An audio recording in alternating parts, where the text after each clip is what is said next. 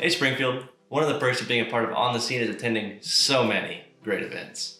Last week, on Friday, we were on the scene at Hold Fast Brewing for the talented Jessamyn Orchard. How was that? It was great. Jessamyn Orchard is a very talented musician and she plays some of her own original music as well as some covers, but she puts a little spin on them to make them her own. Dude, that sounds dope. Yeah, we also got to have a conversation with Carol, the brewmaster and owner of the place. And fun fact, she is one of the only female brewmasters in America.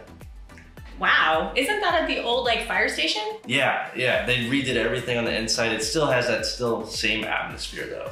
Nice, nice. The fire station. And then on Saturday, we caught Left Arm Tan and City Girls Eagles Tribute at Shuffle.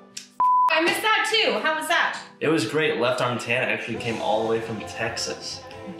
And they play a lot of like Americana music is how they described it, which is very neat and it's very fun. That sounds like a great time.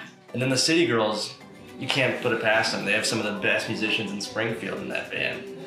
Do you like the Eagles? Absolutely. Awesome. Yeah, they play all their greatest hits and you'd love that band.